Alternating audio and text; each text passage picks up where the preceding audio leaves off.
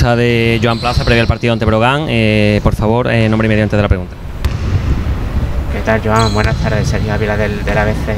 Bueno, lo primero es cómo, cómo has notado a los, a los jugadores esta semana en los entrenamientos después del, del varaparo que supuso lo de Manresa. Bueno, los he notado enrabietados, lógicamente, porque a nadie le gusta perder dos partidos como los que hemos perdido. Eh, los he notado con tensión, muy conscientes de, de lo que no hicimos. Lo hemos repasado y realmente nos hemos conjurado para que no, no, no que nos pase el domingo, sino que nos pase el resto de, de la liga. Por nosotros, por nuestras familias, por los aficionados, por el club que representamos, hay muchas razones que hacen que, que tenga que haber ese compromiso. Ha sido una semana muy importante tanto en lo que se refiere a entrenamiento de pista como en a mentalización, hacer terapia de grupo para que todo el mundo se conciencie de la situación. Hay veces que es más necesario, esta vez yo creo que no ha sido tan necesario porque ellos eran muy conscientes de no haber estado nada bien y que evidentemente no había ningún deseo de hacerlo tan mal y también es cierto que al final del partido pues podríamos haber puesto otro perfil de jugadores o otra táctica que hubiera aliviado un poquito el resultado, no nos hubiera permitido ganar, pero en ese momento yo ya estaba más por pensar en siguientes rivales que no por pensar en ganar ese mismo partido. Entonces los jugadores han estado eh, entrenando duro, serios, conscientes de, de, de no haberlo dado todo el domingo pasado y queriendo pues subsanarlo lo antes posible. ¿En qué aspectos has insistido más durante la semana, Joan? No, hay, hay una serie de, de, mecanismos que tú activas cuando uh, no hay, yo creo que no es tanto una falta de actitud como sí como una bajada de brazos general. Entonces hay que, hay que recordar a los jugadores pues, que ellos tienen también un historial eh, que defender, una reputación que defender, que no están en un lugar esto es más propio de lugares donde a veces pues hay impagos o hay problemas de, con el club o hay problemas entre ellos y es todo lo contrario, la relación entre ellos es excelente, la relación, el intento del club de que estemos trabajando en las mejores condiciones es excelente, o sea que no al lugar. Entonces ellos eran los que había momentos en que se sentían muy incómodos viendo el partido minuto a minuto, como vimos, rebobinando jugada a jugada lo que sucedió el domingo pasado. Eh, después de la victoria de, de, Andorra, tú avisaste de que había habido errores, que había muchas cosas que mejorar. Quizás, bueno, estoy seguro de que lo avisaste también en el vestuario, pero quizás esa misma noche los jugadores por la alegría quizás no fueran tan conscientes de ello, ¿no? Y lo fueron luego a posteriori con, con, las derrotas de Murcia y, de Manresa y se dieron cuenta de que el mensaje que tú estabas transmitiendo iba por ese camino, ¿no? Que podía suceder, suceder de alguna forma lo que tú estabas avisando, ¿no? Bueno, hay, un dicho que aprendí hace poco que es que nadie se, da por aludido en cabeza ajena, ¿no? Y hasta que no te sucede a ti algo en primera persona no te das cuenta. Yo entiendo que ellos son jóvenes y que es lógico que esa falta de madurez eh, bien entendida la puedan tener después de haber ganado contra Andorra, eh, pero yo creo que ahora, después de estos dos partidos, han visto de que esto no va en broma y que realmente el hecho de que tengamos a tantos jugadores nuevos en una competición como es la ACB eh, hace que tengas que dar mucho más, tanto en ataque como en defensa, como en la aplicación, como en el hecho de trabajar para recibir cualquier eh, bloqueo, cualquier pase, todo hay que trabajarlo mucho más que en, en equipos donde hubieran estado hasta ahora. Breogán es de momento la, la sorpresa de la, de la, competición. Para el que no lo haya visto jugar, eh, ¿qué destacarías del, del equipo de, de, Lugo, Joan? Bueno, tienen jugadores con mucho talento eh, y que los han puesto allí básicamente para que acaben de explotar. Jugadores que ya conocemos aquí, como es el caso de Malavasic, que es base, básicamente un base jugando de pivot, con gran capacidad para pasar muy bien, reboteando muy bien. Eh, tiene Lakovic, que es un excelente también tirador. Musa, que es un prospecto NBA y a buen seguro, pues no sé si tan siquiera acaba la temporada allí, seguro que lo hará, pero que tendría muchas opciones de estar en un equipo de NBA o de Euroliga, con lo cual es eh, dos bases muy expertos y con más talento del que la gente decía. Eh, yo creo que es un equipo muy completo eh, y que hacen de ellos, bueno, ahora mismo ellos tienen un 40% en, media en tiros de 3, eh, tienen un 56% en tiros de 2, están siendo muy, muy buenos ofensivamente. Y, y, por lo tanto pueden permitirse esas licencias de, de, competir contra grandes equipos como han hecho hasta ahora Tenerife, Barcelona, hasta el mismo Burgos en su propia casa. ¿no? Ahora mismo muy pronto para eh, poner etiquetas, pero ¿tú lo consideras en momento un rival directo por su condición de recién ascendido o tienes en cuenta más el comienzo que ha tenido de Liga Tambor?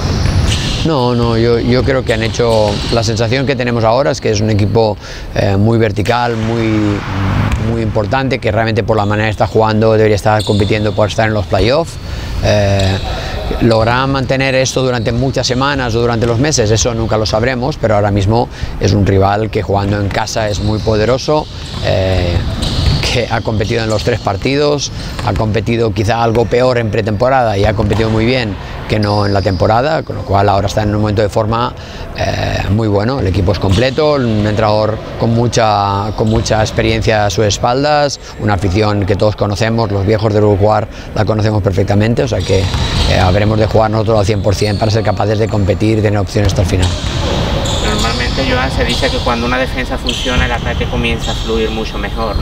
Eh, ¿qué, cosas, ¿Qué cosas tiene que cambiar, variar o implementar el equipo defensivamente para adquirir esa solidez que, que se ha echado en falta en estos tres partidos? Bueno, yo, yo, creo que esa regla que tú dices es cierta para equipos pequeños como nosotros. Para equipos grandes ellos pueden permitirse jugar a 100 puntos cada noche porque ellos acaban haciendo 102 o 105, 110.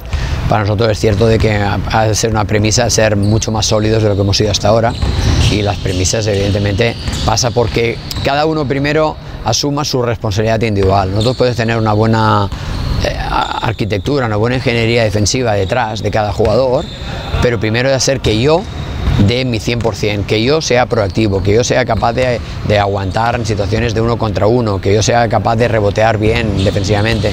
Entonces a partir de ahí lo demás ya va encajando, pero lo que no puede ser es que antepongamos la táctica defensiva a mi esfuerzo eh, defensivo y es lo que hemos intentado estar trabajando esta semana. Sé que no te gusta individualizar, pero me gustaría preguntarte por, por Shannon, se le ha visto muy ansioso en los tres partidos, diría yo. No sé si has podido hablar con él personalmente, si tú esperas que él vaya poco a poco adquiriendo los mecanismos necesarios que son más exigentes en esta liga que de donde él procede. No, yo creo que en su caso, como el de algún otro, pero es una circunstancia parecida, son jugadores que vienen de otro proceder, de otra manera de trabajar, de otro tipo de liga. Y entonces él es una persona que quien yo creo y creo mucho. Creo que además es un gran complemento uno del otro y el otro del uno con Pepe Pozas, que son muy distintos. Eh, la capacidad que pueden tener uno de ser muy verticales, pues la combina el otro con más experiencia, más, más talento. Eh, entonces yo creo que acabará explotando pero uno de los problemas que a veces sucede, y eso tú ya llevas mucho baloncesto en, en, las venas, es que a veces empiezas muy bien un partido y lo empiezas tan bien que crees que lo solucionas en el primer cuarto y luego te borran en tres cuartos. Pues esto es lo que puede habernos pasado eh, con él, con algunos, que hemos hecho una más que buena pretemporada, compitiendo a muy buen nivel y que pensáramos que esos avisos que te hacía el cenizo de tu entrenador pues eran excesivos porque bueno, yo ya estoy controlando, hemos ganado equipos de, de, gran nivel en pretemporada y cuando llega el momento de la verdad, pues eso no es así y él esté ansioso por jugar al nivel que ha jugado en pretemporada o que ha jugado eh, donde estaba antes. Y la última ya por mi parte, 450 partidos cumples en el Liga Andesa, en ACB, ¿qué supone eso para ti? Bueno, un orgullo. Si me lo hubiera dicho alguien en juventud hace muchos años, pues ya hubiera sido para mí difícil imaginar que yo pudiera entrenar nunca al juventud cuando yo era ayudante, cuando era entrenador de cadetes, cuando entrenaba en, en un barrio de San Adrián del Besós, pues que ahora puedas llevar lo que sería 10 temporadas completas, ¿no? Es un orgullo y tan solo espero merecer ¿no? el haber estado tanto tiempo. Yo he dicho siempre que el mayor orgullo que yo tengo más allá de los títulos es que por donde he pasado las cosas han ido a mejor, han ido mejorando. A veces sufriendo, como estamos haciendo aquí, pero han ido mejorando. A veces en aspectos que no se ven en la pista, pero siempre mejorando. Y es lo que pretendo seguir haciendo el resto de mis días, aunque sea a costa de mi úlcera y de, y de muchas cosas más que me afectan. Joan, dos últimas preguntas de Palo Salvago, Diario de Sevilla. La primera, dentro de dos aspectos que el equipo le ha costado más, como es las pérdidas o cerrar el rebote, ¿cuál de las dos te preocupa más?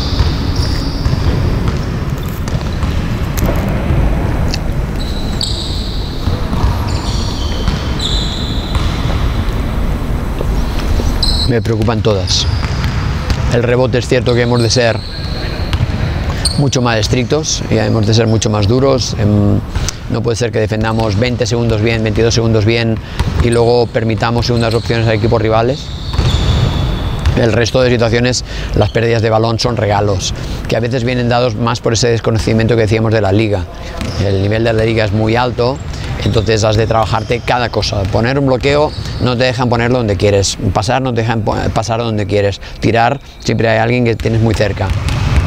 Entonces hemos de ser capaces de reducir el número de pérdidas y ser bastante más sólidos en el rebote, que hasta la segunda jornada de liga yo diría que éramos el cuarto mejor equipo en rebote defensivo, pero evidentemente después de las de la, de último partido pues hemos ido en picado hacia atrás. Hemos de recuperarlo, hemos de recuperar mejor estado físico, que, tanto Marco como, como Belés, como Nick, el mismo Vito y, Beca sean capaces de entender de que esa responsabilidad en primer término es suya y también de los exteriores posteriormente. Y ya por último, parte médico, ¿cómo llega el equipo? Hablando también de Ibra, quitando la, la ausencia.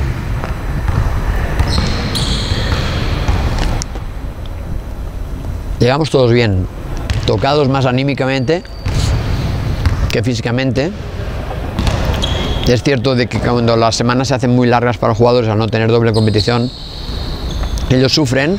Hemos dado un día de descanso, quisimos entrenar al día siguiente después del partido, muy temprano por la mañana, ya estábamos casi todos aquí a las 8 de la mañana después de haber perdido contra Manresa para reflexionar, para ver el partido, pero yo creo que llegamos en buenas condiciones, excepto el tema de, de Ibra.